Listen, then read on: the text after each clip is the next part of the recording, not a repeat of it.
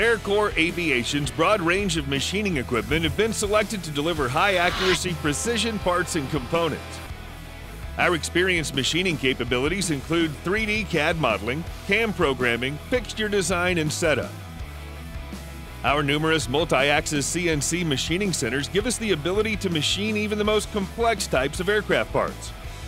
We have the ability to source a wide variety of non-ferrous and hard metals and conform finished parts exactly to your specifications. Parts such as brackets, mounts, covers, and fittings are just a few of the many typical parts we routinely machine. AirCorps' quality system ensures that your parts are delivered in exact accordance with your specifications and requirements.